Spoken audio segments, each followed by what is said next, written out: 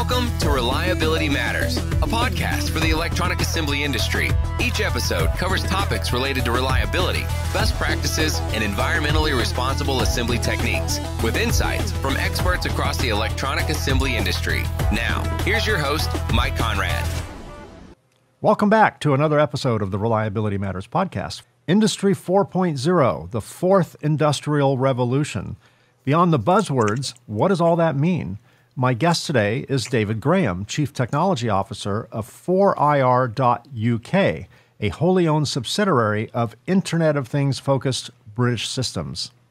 4IR.UK specializes in creating monitoring, control, and automation solutions, often based on the MultiPlug edge computing platform for manufacturing environments.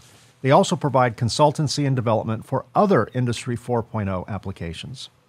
I was intrigued by a webinar presented by David entitled A Decade of Industry 4.0. And today, I'll speak with David about his thoughts, experiences, and opinions of Industry 4.0.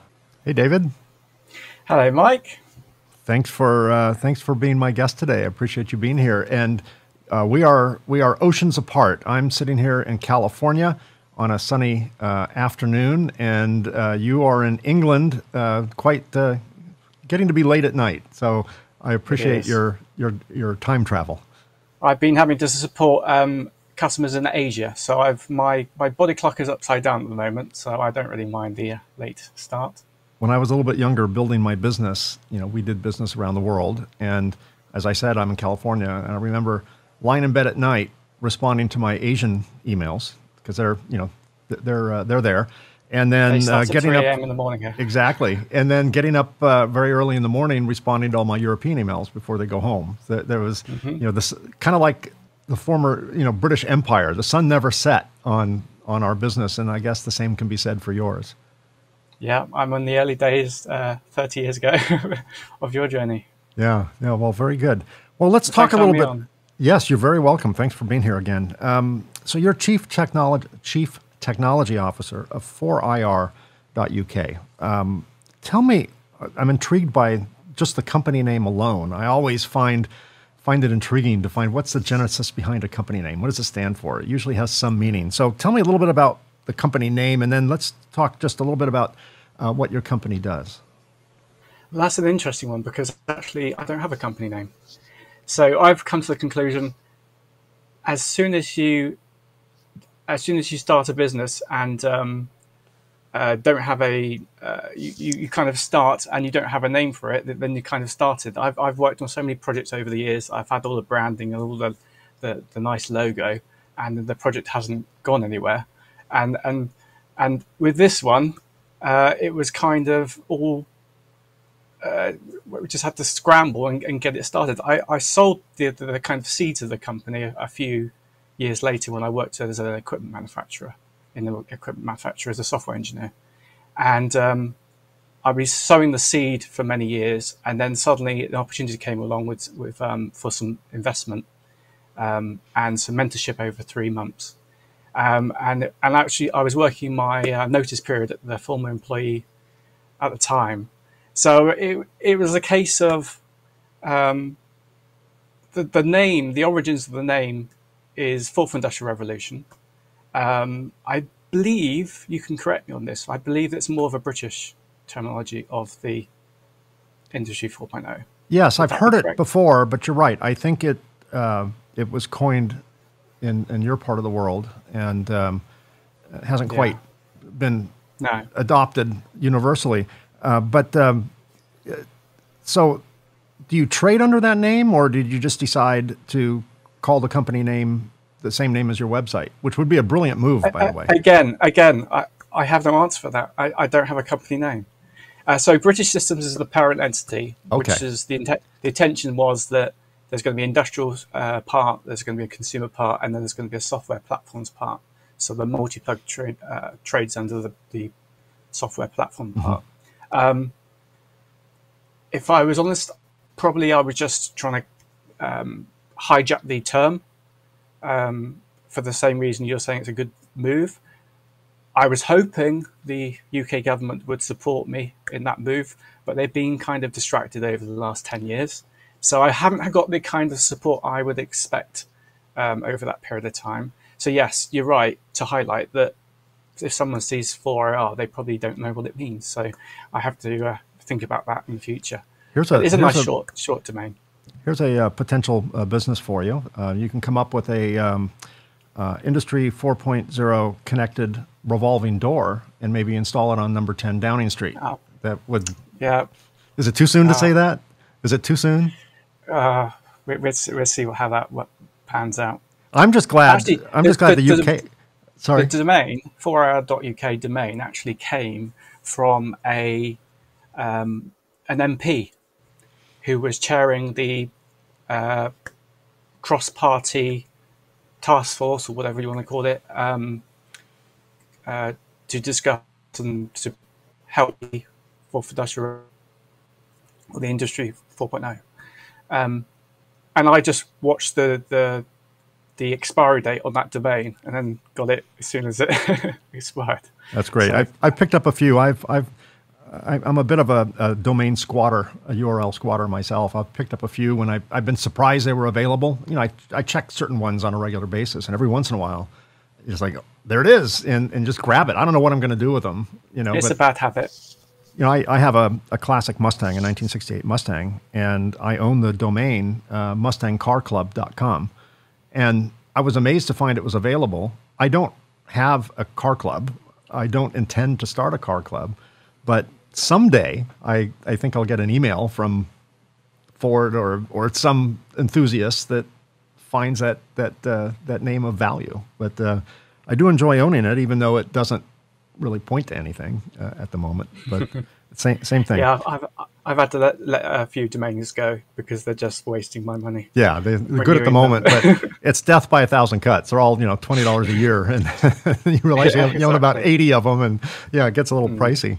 Um, so your your non-company actually makes some real products, and um, we're gonna we're gonna talk in a little a little while about some of the products you make. Not to hype your products. That's not the goal. That's not ever the goal of the show, but just to put your um, expertise and, and your experience um, into context.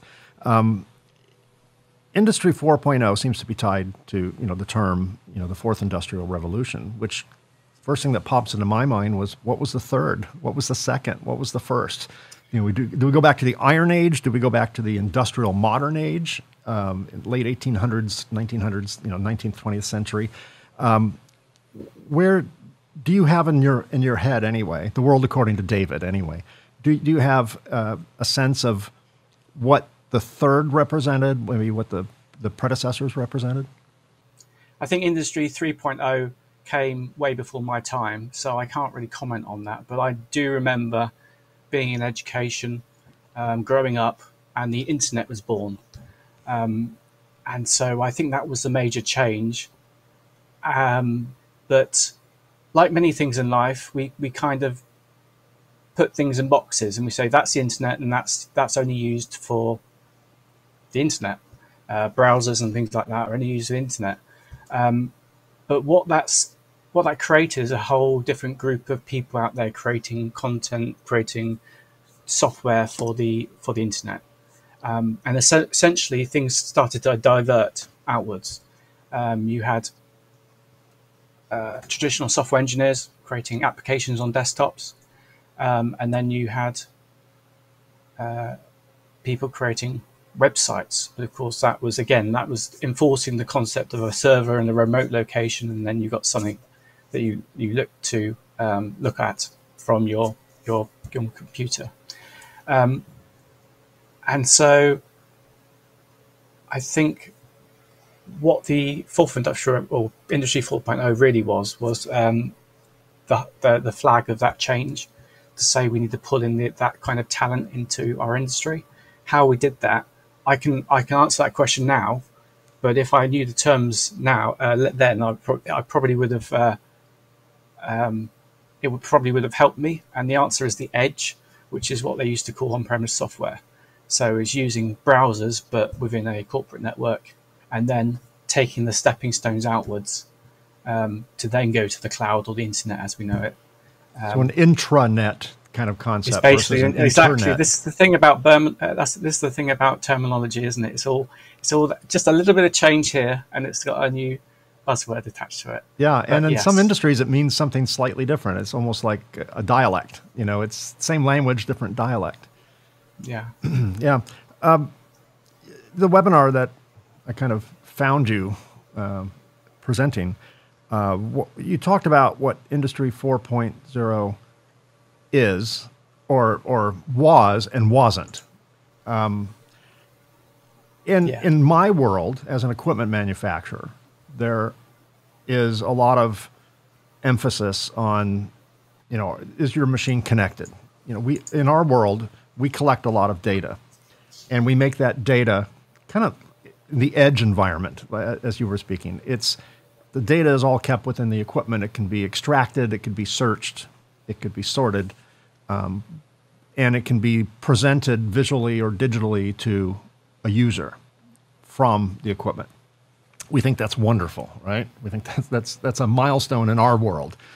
Um, now, all of a sudden, um, people are asking if it could if it could go up to a cloud or or or be useful to another piece of equipment or another piece of software that could crunch the data and analyze it and, and interpret it or whatever they want to do with it. Um, and the answer is yeah. And who's listening? Who wants what outside of our small little bubble? Or uh, who? What use is that information uh, outside of our small little bubble? The, the next machine doesn't really care what our machine is doing in, in our world, anyway. Um, so there are a lot of misconceptions. There are a lot of people that ask, "Is your machine, you know, does it store information? Does it collect data?" Yes, and then many of our customers, a, a measurable percentage of our customers, don't even use it. They just like to know it's there. Um, it's it's a feature, and to some it's valuable, and to some it's it's just a feature. Um, are there misconceptions with the collection of all this data and, and what use the data can have and what 4.0 can offer that are really just misconceptions or are they just um, are people just not appreciating the possibilities does that rambling Yeah, question yeah. make sense Um, I think the first misconception is you have to store the data. So if no one's listening to that data, then it just doesn't either doesn't get created because it's intelligent and it knows that no one's listening, or it gets created and just disappears. I think that's that's the first hearing the commentary of of the industry over the last 10 years that was like we're creating lots of data and we don't know what to do, do with it well then don't store it um, you need to have some sort of endpoint listening to it. Um, if you look at the uh, CFX, that's exactly how that works. You got you got an event, um, and then you subscribe to that um, message. You, you have a message and you have an event, and you subscribe to the message. And if you've got subscribers, the subscriber takes hold of that data, and then they do what they want with that data, um, and they can then store it themselves. So, I think the the question of why? Stop asking why. You don't know why you know. There's lots of technology out there today that wouldn't be created if they, someone had to go with a justification document to say this is why we need it um, beforehand. And then you know it's a classic um, it's classic uh, do something before the customer asks for it. So create the data before the customer's asking for that data. Every part of your machine needs to be pushing out an event or you know a little bit of data to say this has happened, and then just let the community do interesting stuff with it. Yeah, we that's kind of the approach we took when we when we uh, moved up to the computer technology that would allow us to store data. When we started switching things from analog to digital, for example, uh, sensors, um, clearly we had the ability if we were reacting to that input, we can store the data from that input. So we just started collecting everything, not knowing why. We just thought, well, maybe it'll be helpful someday. We'll just start collecting it. Almost like a stamp collector or coin collector, you know, you just, or rock collector. You just pick up things that interest you at the time and later find out if they're valuable. And it has turned out to be quite valuable because in ways we didn't anticipate. Um, for troubleshooting purposes. You know, we have access to all that data. We can see when a switch was went high or low, or or open or closed, or whatever the case may be. We can we can see a lot of data, and we can then rebuild a time sequence and, and, and a series of events, almost like playing detective. Uh, it's become extremely extremely helpful for troubleshooting, for fact finding when the customer says they never did this, yet the data shows this happened and yeah. and the person's name. You know, uh, it's um, it's quite valuable. So so what you need to do is take a, a step back almost. So you've created the you're capturing the data and you're storing the data and you're using the data. So now you need to go back three steps and just expose the data to, on an interface and then create your uh, data storage uh, solution and then your data analysis solution. You're, so then you're kind of eating your own dog food because you're using the interface that other people might use, and then you're also building your own solution onto that. But I can build my own solution onto that. And really, you know, if, if you, I don't think it's going to happen over the next ten years, but maybe the twenty. Ultimately, the intelligence is going to go upwards, but you can't get to that intelligence level until we can actually get to the people that create the solutions right at the top can can get to the really um, raw states of the machine or sure. you know control it. Yeah, no, that, that makes a lot of sense. Um, you talked in your, I'm going to reference several things in your webinar because I, I took a lot of notes because I several things just um, pushed the button uh, with me. You talk about a one-to-one relationship um, with uh, between people and technology, and that that's an interesting subject for me because I, I find our in, our industry is is very unique in the way we embrace technology and people. And sometimes we we battle; those two battle. Sometimes they're, they're, there's yeah. synergy. Uh, often there's not. Uh, explain what you meant by um, the, the relationship between people and technology in, in, in, your world. Well, I think actually it's good engineering practices, isn't it? So you you align people to own own certain things, and they have ownership of how to create that solution in their own um, way. They can use that solution or that technology or that technology. It's up to them. Um, we see it even in the social media generation. You see some certain social media is more um, well. Facebook is now for the for the parents. Um, Instagram is and, sort of halfway. Grandpa- grandparents and, and great grandparents. Yeah. Yeah, because that's how I got onto it because it was about connecting with people I knew. But then Instagram is about you know um, being a celebrity, and then TikTok I haven't even tried, so I, I can't I can't up with that one. Um, but essentially, it's it's about understanding that technology is now generational, um, and I'm I'm sure it's going to continue that in that way. So we have, you know, we have software engineers of the 90s or the 80s and 90s who were starting from a blank page, um, and they have kind of morphed into more of a, um, a software developer, which then uses technologies or platforms, uh, which means they can really get um, code out the door, get, get solutions out the door much quicker than, than their predecessors. But it's to understand, I think the banking industry kind of went through this problem, which is understanding that technology gets old. Um, and now we have to realize that the stuff we created in the 90s that were probably you know, we probably um, kept on life support in the 2000s and maybe into today. You need to move on now. Um, uh, the other one-to-one relationship is just about, as I started at the beginning, about teams, giving teams ownership and making sure that people can own um, certain elements of your solution. Um, a good example is, on your um, smartphone. So if you notice everything on your smartphone is an app, which is logical because it's obviously only does one thing. But if you consider that there is also a settings app, so this isn't built into the actual operating system of the uh, your smartphone. It's actually a separate app. That just shows you that you just you should break everything down into little modules. And as I said before, it's good, good engineering practice to make sure that everything, everyone has ownership of certain things, and you know, certain if a, a team needs to do uh, wants to do it in a certain way, then they should be able to do it in a certain way. But it's just that kind of ownership and that um, generational change that we need to appreciate. Um, and again, the internet, the change of the internet created a, a, a new generation of developers. Um, and now, interestingly, when you know when the iPhone came along in 2007, um, that rebought that re, uh, recreated the application developer. So someone who actually just creates an application onto a phone. So um, yeah, I, I, guess I'm going to have to get used to the fact that life is circular.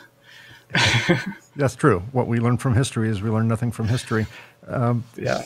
My father uh, was an immigrant to this country, and and he um, got his education here, uh, went to college here, uh, worked by uh, night, went to college by day, and got a degree in computer programming. He immigrated here in 1957. To put that into context, and by the early 60s, he had his degree in, as a computer programmer. And uh, back in those days, he, IBM, of course, was the manufacturer of choice, maybe the only mm-hmm. manufacturer at the time. And he was hired by a, by a company to integrate the computer programs or, or to write computer programs on their mainframe.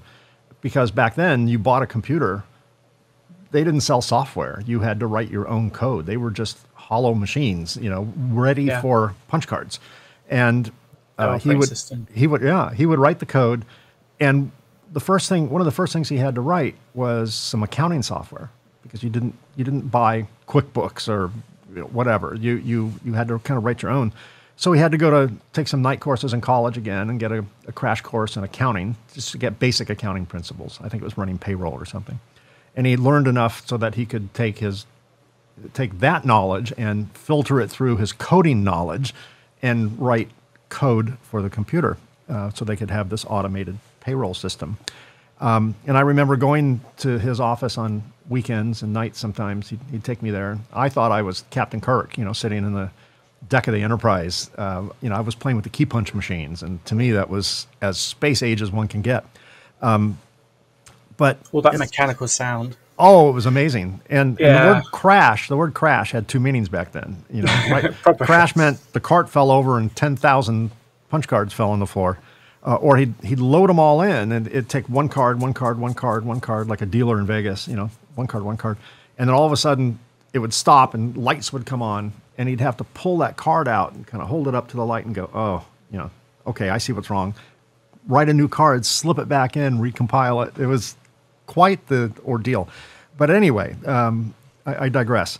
Um, back then, you needed you know a couple of skills at least. You needed to know how to code, and you needed to know about what you were coding. In this case, mm-hmm. accounting. Yeah. Um, so over the years since the '60s, uh, when computers kind of first, in a main mainstream way, started to come on the scene, to today, um, we we hear about you know software developers and app developers and and there's new names that you know there was no app developers back in, in my dad's day or at least not by by title.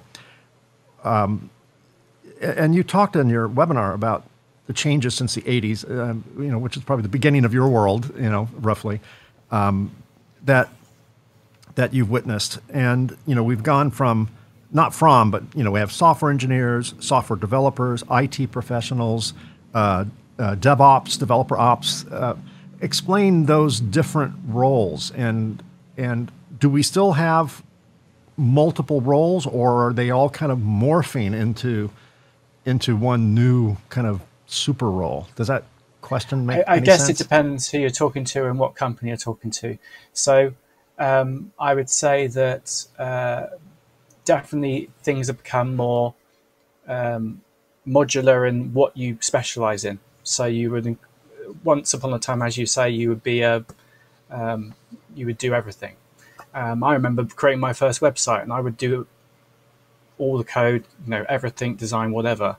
Um, and if you look at uh, today, you have front end developer, which is the, the user interface, but that, that might be broken down into the actual logic. That might be broken down into the style. Um, and obviously you've got the design, that's another person. And then you've got back-end developers that are the, the server side stuff. Um, and the reason I bring up the web constantly is because this is where the changes have occurred and this is where we need to start to um, learn from. So a lot of the web web development these days is done by multiple people. Um, they've got their own technologies they're using. They it all um, it all glues together nicely. Um, but it's on on the on the look taking a few steps back, it looks really complex because it's so many different units and things like that to, to to look at. You know, once upon a time, I could do it all myself. I, I do it all myself, but in the sense of you know, it used to be a flat HTML file, and that's that would be it. Where today it's more complex than that. Um, so going back to like application um, software engineers, as we as you've spoken before, uh, it's very much a blank page. Your platform is your, maybe your operating system, and you could kind of call your programming language to be a platform in the sense, but you're creating things from blank page. And you know what? If, if you're working for a company that doesn't know any different, you're going to sit down there and code out and reinvent the wheel and and start off afresh. And I think that's where some of our some of our that's where parts of our industry is at at the moment. You know, lots of people um, in in siloed companies, not not um, there's no community, so no one's really sharing information. It's behind closed doors. It's secure. It's, you know, every, it's hardware, so it's all you know IP and top secret, and can't tell anyone who customers you're working with, all that kind of stuff. And so there's just a lack of community. So there's a lot of reinvention of the wheel out there. And then we can move on to uh, what they call software developers. And again, this is really my definition, but ultimately they're using software platforms that they can get off the shelf, and then parts of uh, lots of functionality comes for free, and that's the beauty of it. You know, you can get up something within a few lines of code, or maybe even drag and dropping things. Um, but going back to your original question of whether we're going, is it more specialized or is it going going together again?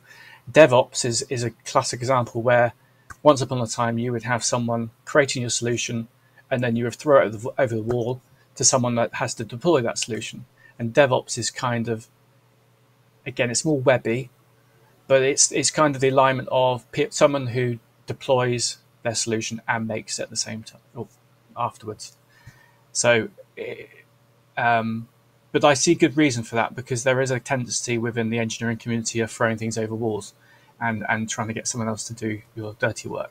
So it's a nice way of trying to bring in together the the, the consequences of what you do. Same with same with testing. We've got now we've got we've got um, test driven development. So we try and create our own test um, scenarios.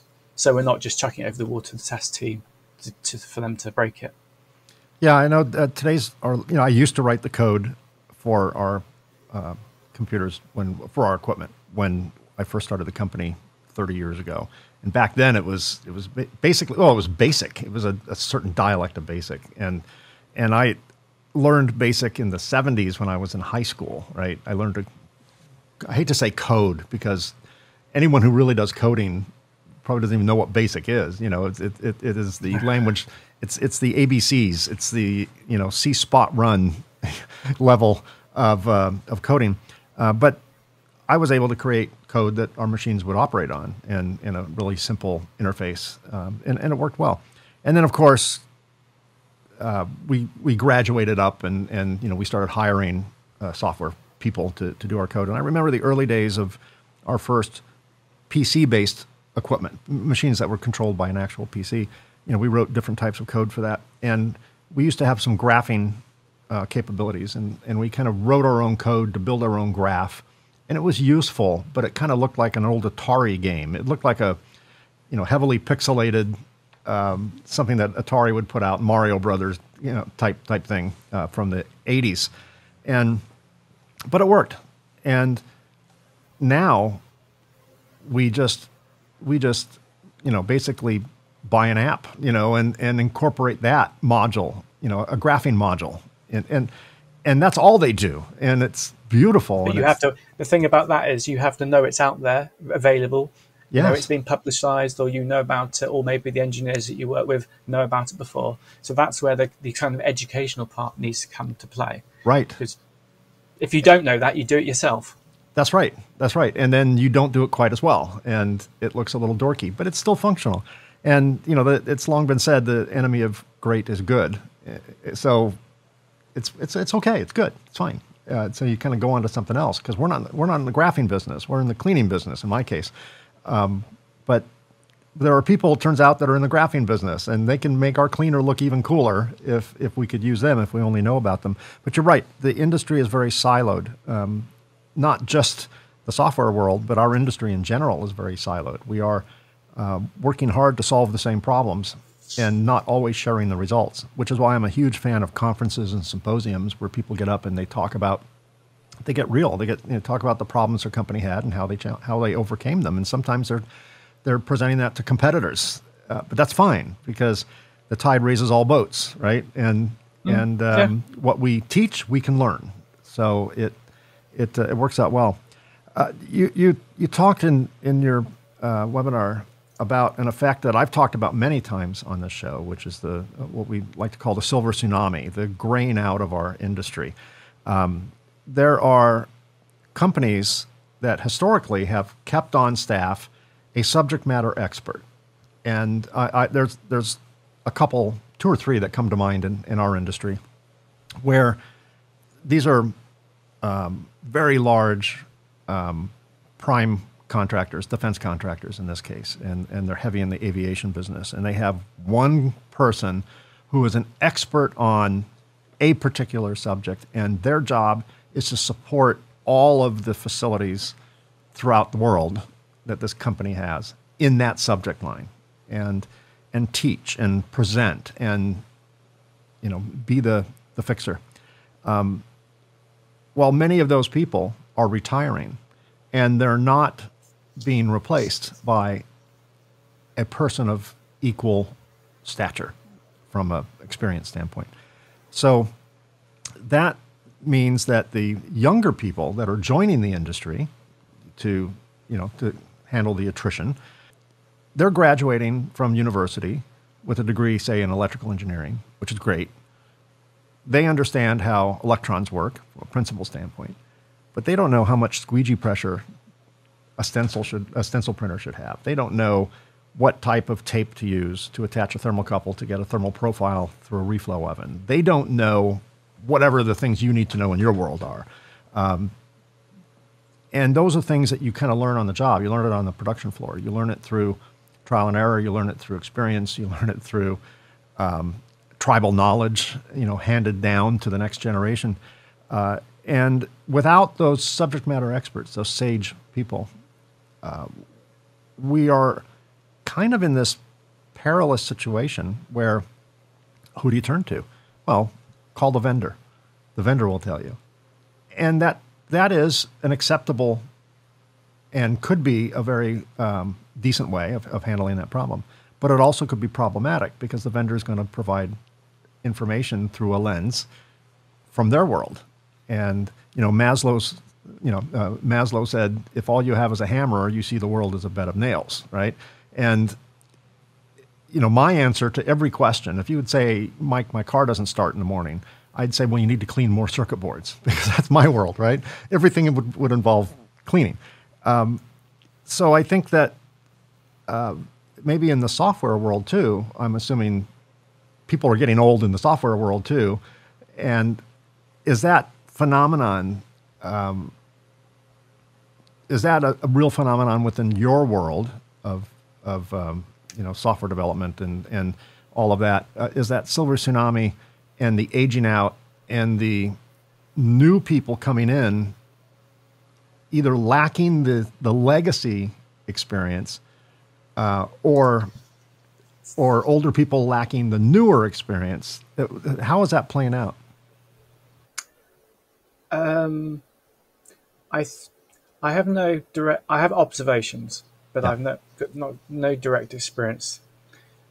There is there is a feeling of there are a, a there's a, there's a there's a big company called Microsoft, and it's just uh, I've noticed that uh, a few poor releases have been released. Um, but I've got no I got no evidence of that. But you do get you you, you get a feeling that that's occurring that there is a transition, and I think we we have when we talk about the uh, silver tsunami. I, I've never actually thought about my industry. I must admit, you throw me a little bit there.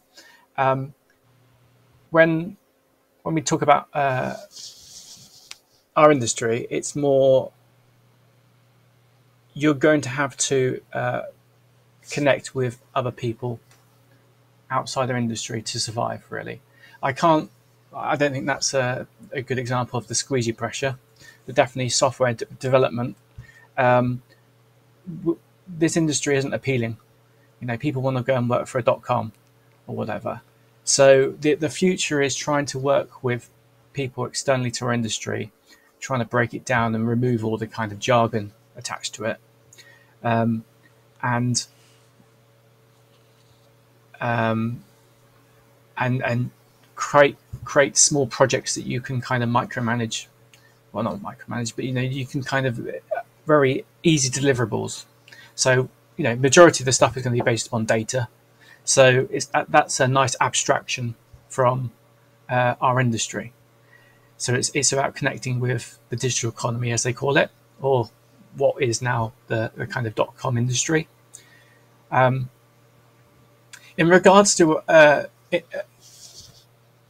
um, manufacturing industry, I think I think we're we're currently doing the, the solution, which is we're talking, we're starting to create this this community. Um, there's lots of podcasts that have popped up in the last two years, and uh, this is this is an example of how we're going to solve it. I think because you're going to get uh, you're an equipment supplier, you're going to get customers talking about their uh, scenarios and situations, and then that's going to naturally create a community. Finally, um, so I think that's the answer to that that one in our in the manufacturing industry. Mm-hmm. Um,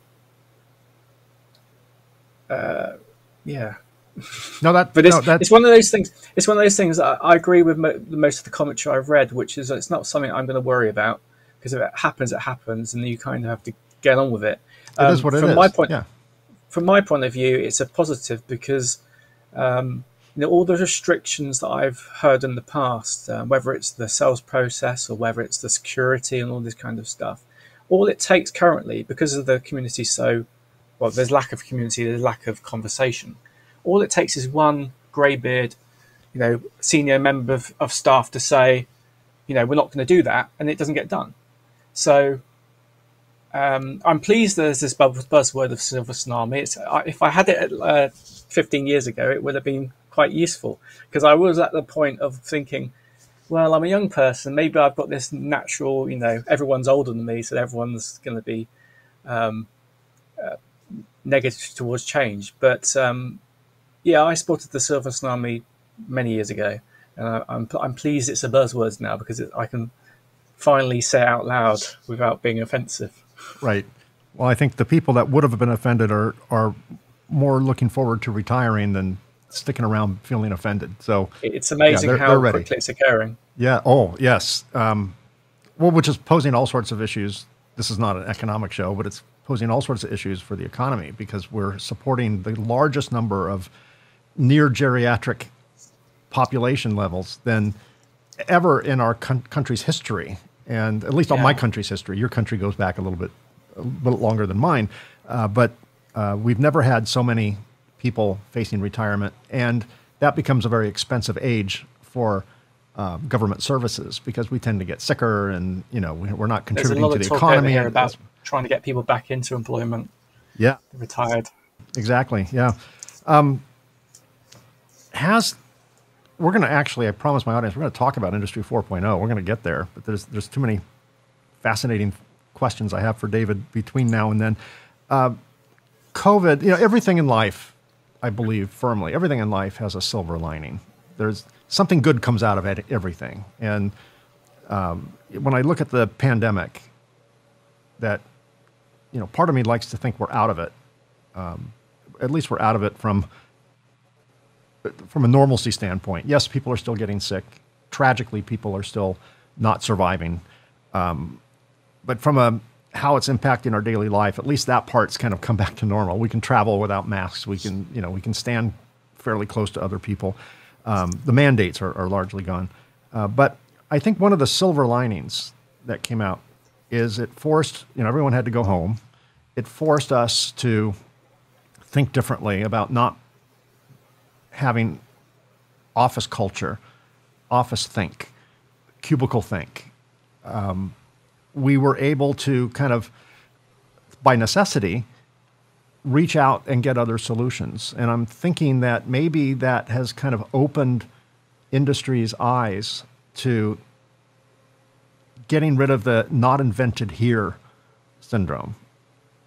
You know, all of a sudden, David is now working from home. David finds this app that does an element of what he needs better than he does. And all of a sudden, people are outsourcing more, or at least they're more open to outsourcing. They're, they're, they're buying modules of predetermined code or whatever the case may be and incorporating them in to build a better mousetrap than they would have if they had developed it 100% in house within the cubicles, on the drafting tables, you know, to coin an old phrase. Um, has that been, I think you may have referred to that uh, in your webinar. Uh, has that sense of it's not made here, so we won't do it syndrome started to change in this more connected world that we live in? I think it just goes back to what's what I said before, which is about education. I mean, I, the thing about our industry is normally it's behind. Normally it's very customer driven, very voice of customer. Uh, we're not going to do it until it's asked for.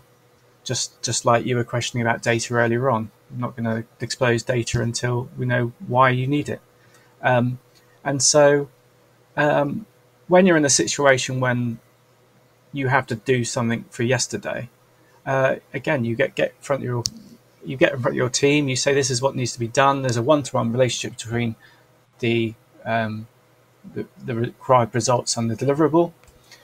It's very focused towards one customer, and then um, and then you have something that is made in house and not outsourced. Um, that said, if you're talking about like like recruitment and talent, then yes, COVID has increased. It's highlighted recruitment problems.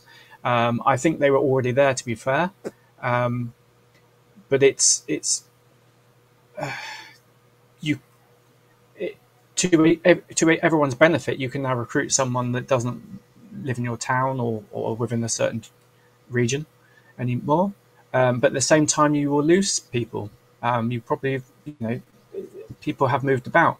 So um, I think, yeah, the, the concept of outsourcing, whether it's on a project base or, or a, you know, a solutions based, or whether it's even just a one person uh, recruiting from afar, um, that's all changed, and I think it's it's not the fact that someone's gone, yeah, we'll, we'll give this a try now. It's I think everyone has to has to do it now, um, which is nice because it's just given everyone that just little bit push that was naturally going to go towards that way.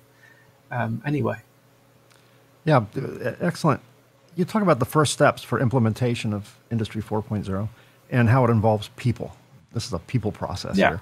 Uh, walk me through those those people steps, if you can recall. So that. the so the so the kind of you you realize that you need to connect with uh, this community of people that you probably don't deal with on a day to day basis. You've you know it's the dot com, it's the internet, it's it's it's the a, a completely different industry. So how do you start to connect with those kind of people?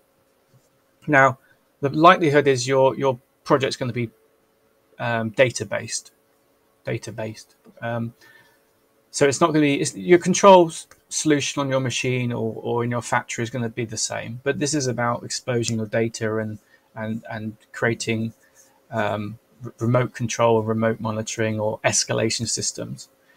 Um, so that's going to be a great little mini project for someone outside your business um, that doesn't work within manufacturing and doesn't doesn't want to know about all the terminology. So I think the first step is, is uh, you spoke about people. I'm going to jump over to technology just quickly, which is to which is to uh, try to align your technology to the, the, the industry that you're going to interact with. Because it's no point telling them to use this technology and then they have to skill up. And that's what we used to do in the, the days of software outsourcing. We used to basically dump um, your code base into another office, maybe in another part of the world, um, and then just get on with it.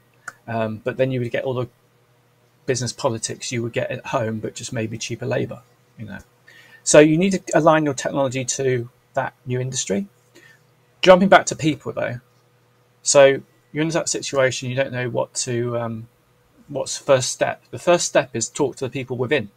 So you have your IT team, uh, which deal probably deal with data. You might have a, you know, even if it's a one man band, um, it's it, they know data and they also know people that in their industry. So talk to them. Understand that you've probably already got the skill, but at the moment you're putting a, a sticker on their forehead and saying that's the only thing you do. But actually, they can be a consultant. They can actually tell you what to do. So go and speak to your IT team. The other team to speak to is your marketing team because they're probably uh, managing your website and they might be managing, you know, uh, an outsourcer or uh, an, a digital agency, as they call them. So go and speak to them. That's your first point of view, and that's internally. Um, then look at uh, look at any sort of uh, groups, business groups, or manufacturing like that. The the presentation you're referring to, I, I made to a a manufacturing cluster in our, my area. Um, so just network generally locally and uh, ask everyone else the same question in order to try to solve your your issues. Um, but ultimately, you want to engage with the outside world, and currently you're you're in a in a industrial unit or uh, you know on a away from the Googles and the, the, the, the, urban situations. I don't know what it's like in the US, but it, over here you have the industrial park and, you know, it's completely away from the shops. It's completely away from anything else. And so you don't have that natural water cooler moment. You know, you don't have people bumping into each other. Um, so you, are trying to connect with these people. Um, so try to um, create some what they would call technical challenges, which is basically a problem, but no one likes to no one likes to disclose their problems, apparently. They, they only like to set challenges. So set some technical challenges. Um, and those can connect to, again, you've got to start really simple. You, it could be a son or daughter of one of your employees. It could be the local college. It could be the local school. And then kind of build up to any other businesses that might want to commercially create something using that challenge. Um, again, at that point, you should be using some, some sort of web technology to use as a, a common conversation ground, I guess. Um, internally within your company, again, this is those challenges can be run by someone, a single person, or um, a junior member of staff. Um, again, it's just a, a, a, first stab at being a project manager, but externally to something, to someone you're interacting with externally. Um, the final one, and that's we've talked about this quite a bit, which is this community concept. Um, try to be visible. You know, we we, we work within a, a very siloed industry, secretive. I've spoken about this all before. Um, try to be visible, um, and that you know those people that are running those mini projects, give them a, a way to be visible on the internet. Allow them to go onto YouTube and create some videos, or allow them to have a micro site on your uh, domain if you can't give them control of the actual domain. Or and, and don't worry about styling and corporate identity and all that kind of stuff. Just give them that that remove those silly barriers that can stop someone projecting themselves and saying, "Look, this is what I can do, and this is who I work with, and and these are the projects I uh, managed. It's all in the spirit of innovation, really, all this kind of stuff.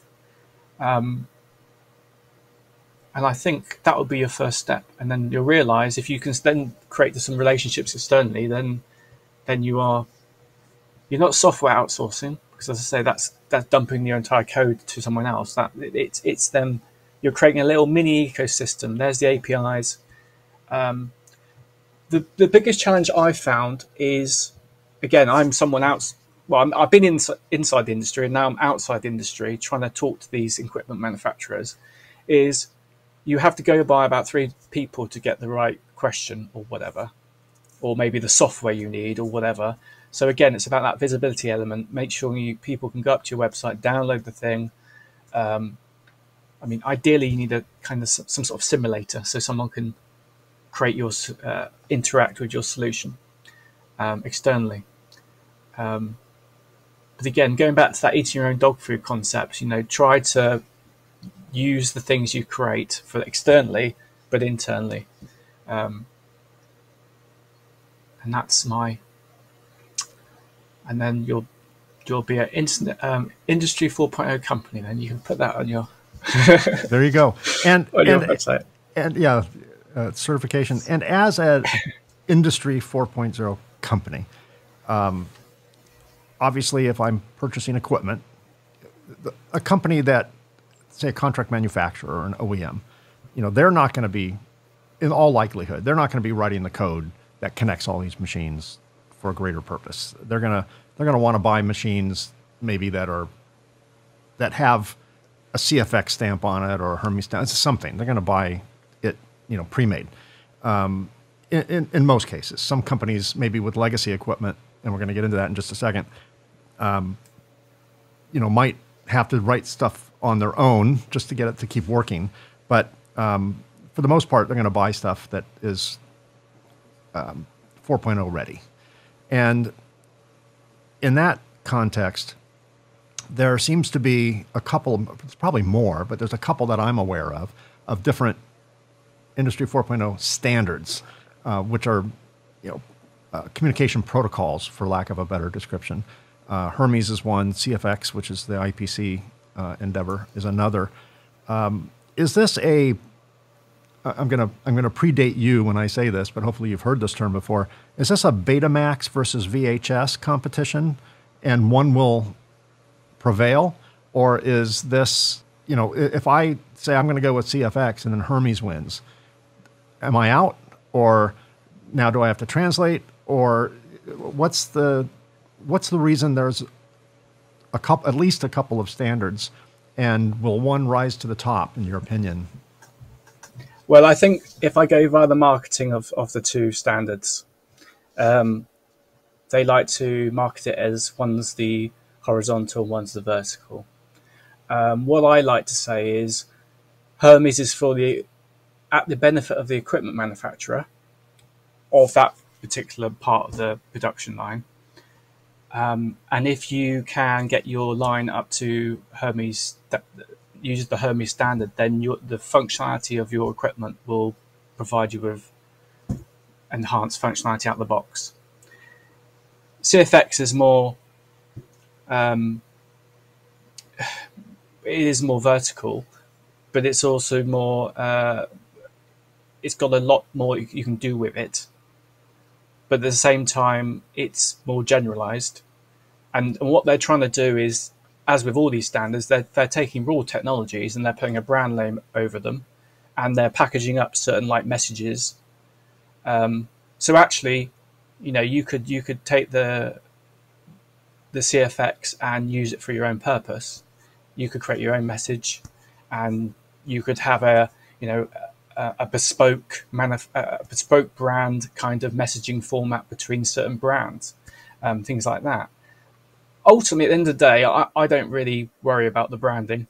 As I said, to me, it's about the technologies under the under the hood, and um, to me, CFX is uh, message and then subscriber, and then the subscriber gets that message. So it's very general purpose. Um, where the Hermes is more um, is more a, equipment's own messaging standard, but exposed to the, the community of that type of equipment. So my answer would be go, go with both. Um, that that said, you know, it wouldn't be it wouldn't be unreasonable for someone to say, can we run Hermes over CFX? And I'm sure someone's already demonstrated that. Um, the early day, um, again, the marketing is about speed. Um, so Hermes switches by the network switch. So the message goes to the network switch. It's IP based. So it then gets diverted off to the next machine that needs to go to.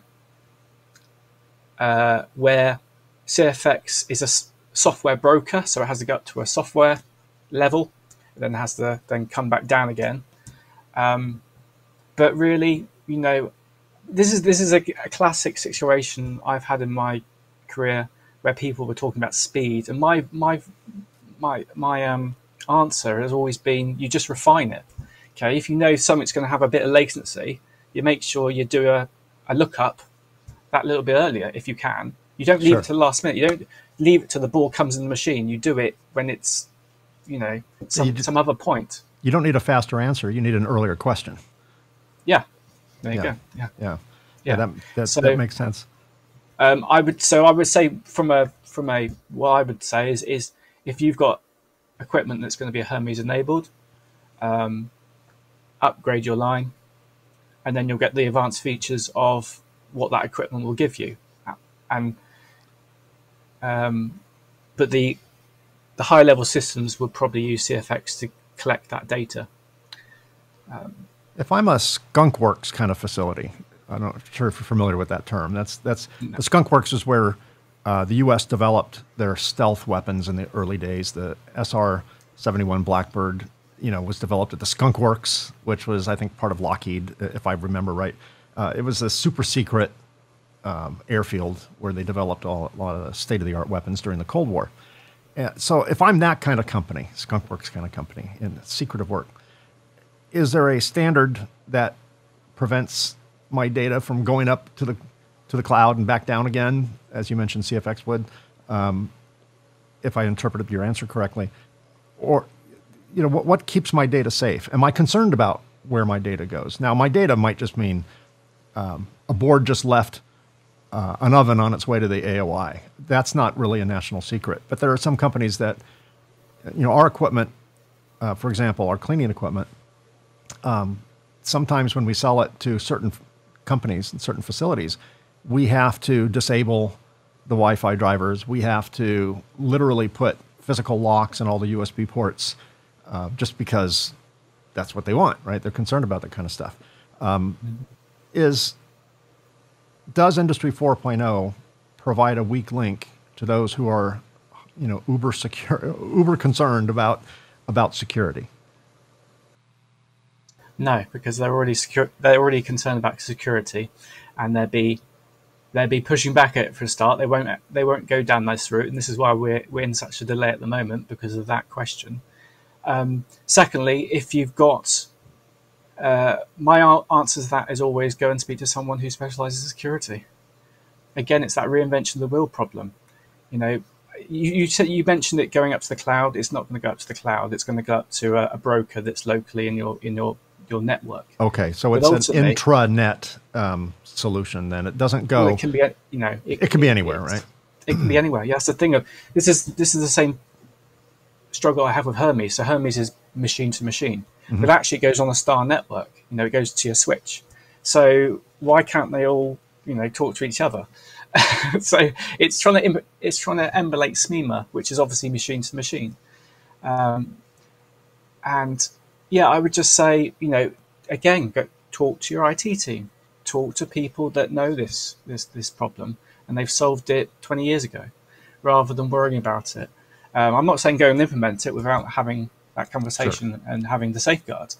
but also, don't let's let's not stop progress by because someone said once upon a time that this is going to go, you know, all this kind of stuff. Well, chances and, are that person who said it is going to retire sometime soon. So yeah, I know. This is great, isn't it? the, the, silver lining of the silver tsunami. We're going to have so many problems in the next 10 years, aren't we? Um, you mentioned the word SMEMA, uh, which of course was a, you know, earlier not earlier, they're still around, uh, but a standards protocol, communication protocol. Um, if someone has some legacy equipment, um, and I'm, I'm set, I already know the answer to this because I'm, I'm, setting you up you here. If someone has some legacy equipment and they want to um, say uh, they buy something that, that's got the Hermes protocol and they want it to be able to talk to some older SMEMA machines, something tells me you guys have come up with a solution for that. Yeah, and it might we, look we a little. It might look a little bit like that. Oh, yeah. Right. Okay. So Quentin, yeah, we got to get to the names. We, I'm gonna. I'm not gonna let you off the hook on the, the names of your interesting products here, but um, tell me what this is right here. So it just it just converts the SMEMA signals to the Hermes equivalents. So you lose, I guess you lose the intelligence of the, the Hermes standard, but what it as it goes through the SMEMA equipment, you want to you want to keep hold of that uh, data of the board that's traveling down the line. So it just simply stores it until the SMEMA signal at the other end goes, I'm going to release that board. Right. So it's an adapter. Right. And, and, and if it was. We fell into it. and, if it wasn't Hermes, it could be CFX, which is the other. Uh, what, yeah, what's the name uh, of that? I can't read it on my monitor. What's the name of this machine? Jasper. Jasper. Okay. We've got this Quentin under development. So um, again, it's it's the thought process of where, whether you know Hermes will run uh, over CFX or whether right. you would need some you would need some steam interlocking, which is quite um, uh, common. You know, to stop start the line currently uses SMEMA. Have you got Clive? Um, no, I don't have Clive. Oh, you don't I... have Clive.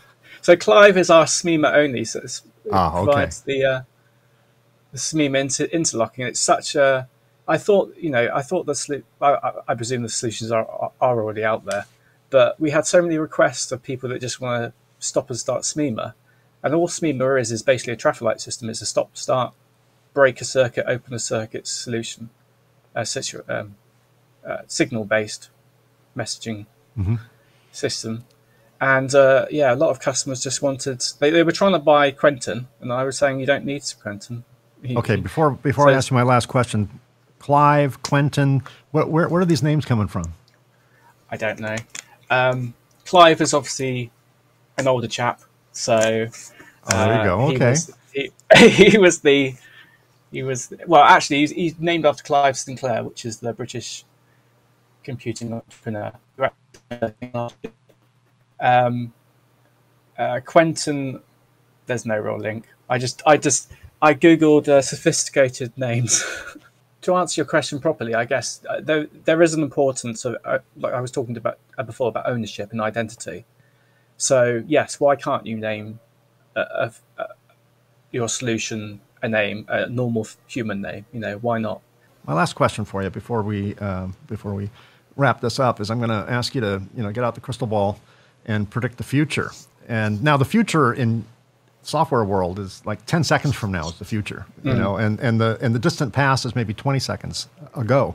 Um, so, where, in, in, from your perspective, the world according to David, um, is uh, what, what, do you believe will be the next industrial revolution? You know, 5.0. What's what's coming? Oh, you, you thrown me then.